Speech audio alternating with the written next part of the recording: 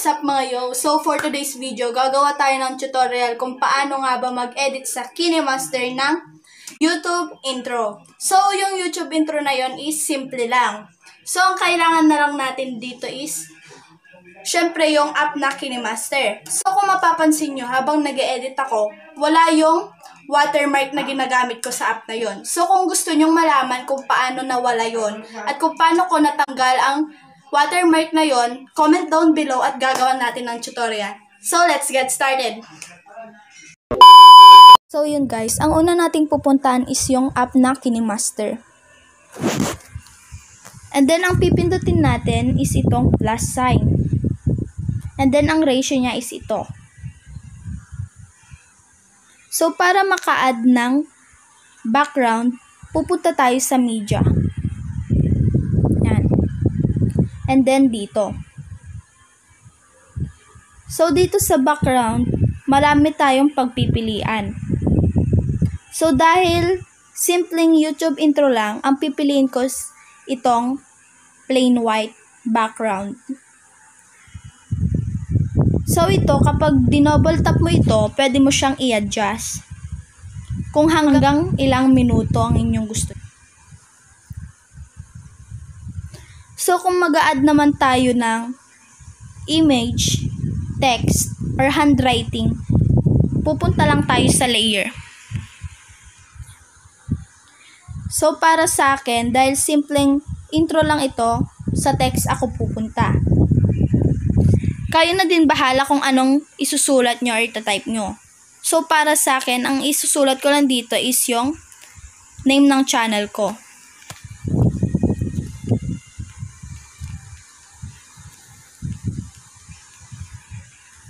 Yan. And then dito, pwede nyo siyang palakihin. Pwede nyo din siyang i-adjust kung saan nyo siya pwedeng ipunta or saan nyo gusto ipwesto. So, sa akin, ipipwesto ko lang siya sa gitna. And then, kung gusto nyo naman palitan yung font, pupunta lang tayo dito sa may A. And dito sa font, madami tayong pagpipilian. So, kung gusto nyo mag-download ng iba pang font, pwede kayong pumunta sa store para mag-download. So, ang gagamitin kong font is itong Great Vibes Regular. So, i-adjust ko yung size ng aking text. And then, kung gusto niya naman palitan yung color, pumunta lang kayo dito sa tabi ng scissor. Yan. And then, ang pipiliin kong color is gray. Kung napapansin nyo guys, may shadow siya. Pwede natin yung tanggalin dito sa baba. Pwede din natin siyang lagyan ng glow or outline. So, para sa akin, hindi niya na kailangan ng glow. Yan. So, ang in animation nito guys is letter by letter. So, ang in animation guys, dito mo malalaman or dito mo makikita yung pagpasok ng text, text sa intro mo. So, ang out animation naman is fade. Yan. And then, kung gusto niyo pang lagyan ng second layer, pumunta ulit kayo dito sa layer. So, ako, lalagyan ko ulit siya ng second layer na text. So, ang ilalagay ko na dito is yung madalas kong i-content sa mga vlog ko.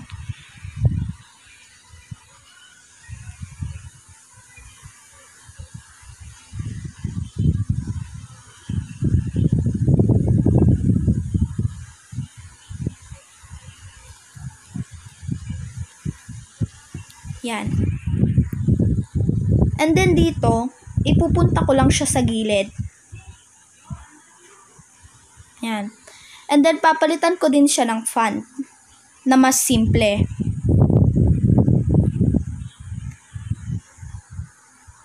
Yan. And then, papalitan ko din siya ng color. So, gagayahin ko lang yung color sa unang layer ng text ko. And then, tatanggalin din natin yung shadow.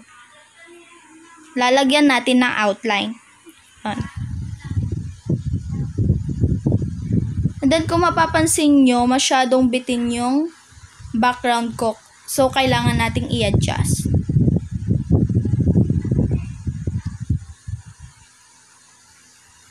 So, dito, sa first layer and second layer, dapat pantay sila para magpantay din yung out animation nila para magandang tignan. Yan. So, yun na nga guys. Sobrang simple lang ng ating YouTube intro. Ang susunod nating ilalagay is yung music, which is pupunta natin dito sa audio. And then yan. Dito kayo mamimili ng music na ilalagay nyo sa intro nyo. So, para sa akin, ito na lang.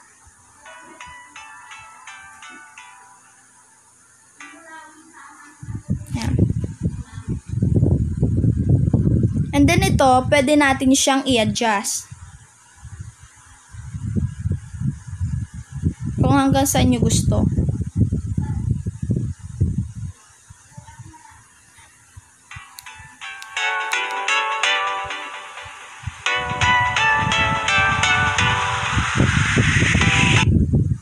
Yan. So, kayo bahala guys kung gusto nyo pang dagdagan yung layer ng text nyo.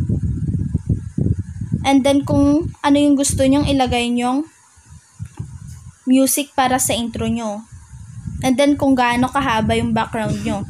So, para sa akin, okay na to kasi simpleng YouTube intro lang naman, 'di ba? And then, kung gusto nyong palakasan itong music nyo, pumunta lang kayo dito sa sound. Yan. And then, itaas natin yung sound niya. Yon.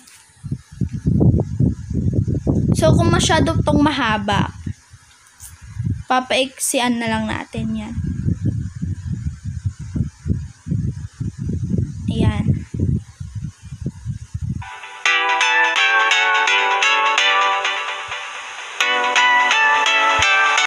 So, napapansin nyo guys, di ba pangit tignan pag hindi sabay yung out animation ng dalawang text.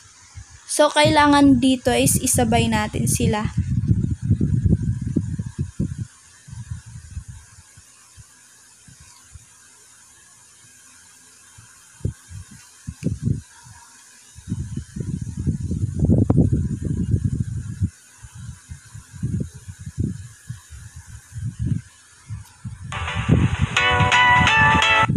So, yun guys. Natansya naman natin yung pag-out animation ng dalawa. Hmm. So, ito, i-fit din naman natin siya sa intro natin. Yan. Para ma magandang pakinggan.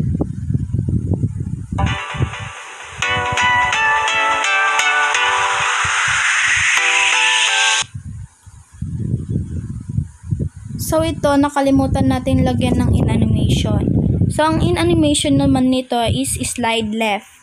At ang out animation naman niya is slide right or fade.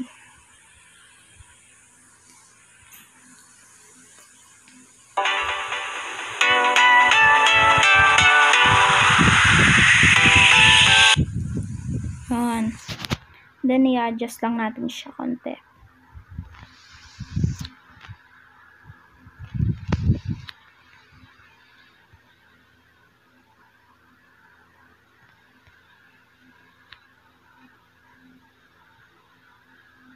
So, kayo bahala guys kung gaano nyo gusto katagal yung simpleng YouTube intro nyo.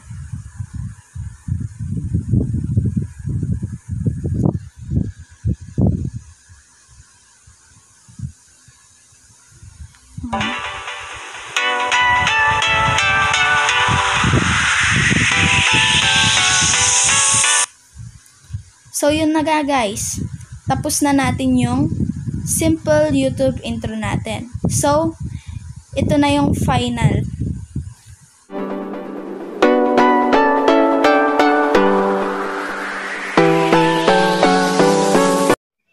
So, yung mga yo, tapos na natin ang intro na ginagawa natin kanina.